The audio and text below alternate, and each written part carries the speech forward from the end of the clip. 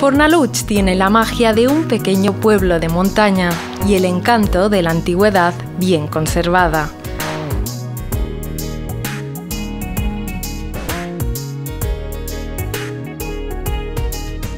Con varios galardones, tiene la fama de ser una de las reliquias arquitectónicas de los mallorquines.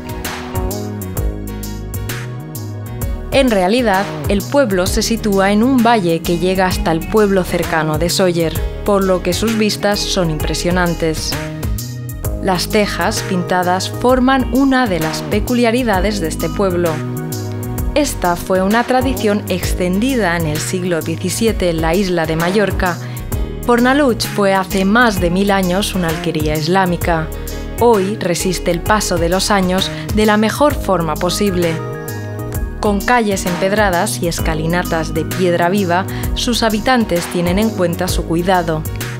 Por ello, si usted pasea entre sus calles, observará portales esmeradamente adornados y vegetación extremadamente cuidada, que hacen de este pueblo una pequeña joya en plena Sierra de Tramontana.